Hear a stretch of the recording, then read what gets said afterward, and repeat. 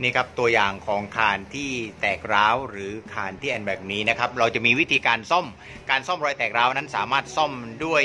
อีพ็อกซี่นะครับ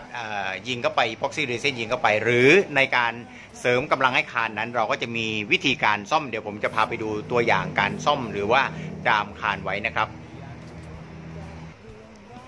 และนี่คือตัวอย่างของคานที่รับน้ำหนักนะครับ แล้วก็ต้องการที่จะเสริมกำลังไว้นะครับ ก็คือการใช้วิธีการใช้ตัว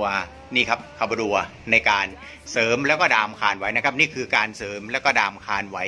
การทำงานนั้นนะครับนี่เป็นการติดด้วยอีพ็อกซี่นะครับแล้วก็เป็นแผ่น CarboDur นะครับ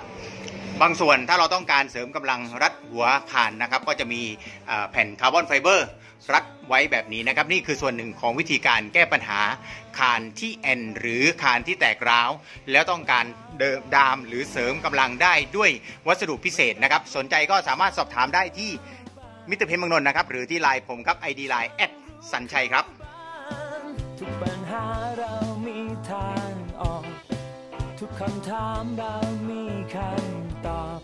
ให้คุณฉันรู้